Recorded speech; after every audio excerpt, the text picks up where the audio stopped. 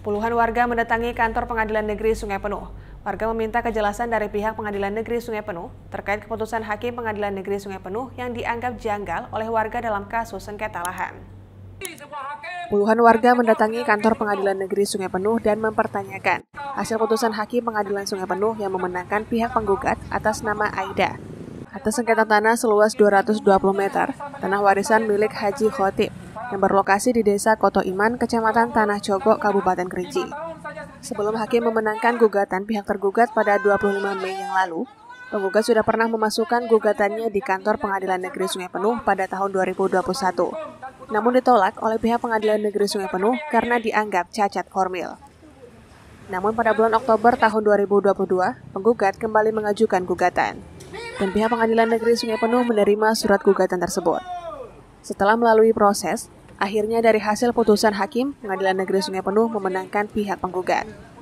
Salah seorang koordinator lapangan, Abdul Hafiz mengatakan, pihaknya mempertanyakan putusan hakim pengadilan negeri Sungai Penuh yang telah memenangkan pihak penggugat. Sedangkan pihak tergugat memiliki sertifikat yang dikeluarkan oleh BPN Kabupaten Kerinci pada tahun 1984. Dengan putusan pengadilan negeri Sungai Penuh, pihaknya akan mengajukan banding ke pengadilan tinggi Jambi. Satu, menuntut dan mempertanyakan putusan pengadilan negeri Sungai Penuh yang dinilai janggal dan tidak adil dalam perkara perdata dengan nomor 68 garin PDT titik G garin 2022 garin PN Sungai Penuh yang pada putusan hakim yang menolakkan pemilik sertifikat tanah. Kemudian yang kedua mempertanyakan dasar pengadilan negeri Sungai Penuh mengesahkan surat perjanjian fotokopi sebagai bukti yang sah.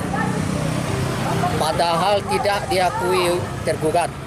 Sementara perkara data lainnya hakim menolak bukti fotokopi yang tidak ada keasliannya. Putusannya itu adalah dikabulkan sebagian. Dasar hukumnya adalah pasal 1365 KUHP KUHP KUHP Perdata. Ya. Artinya itu perbuatan melawan hukum bagi pihak-pihak yang merasa putusannya tidak tidak adil atau tidak sesuai dengan keinginan. Ya upaya hukum, upaya hukumnya itu ada dua yang diatur oleh negara kita. Ada upaya hukum biasa, ada upaya hukum luar biasa.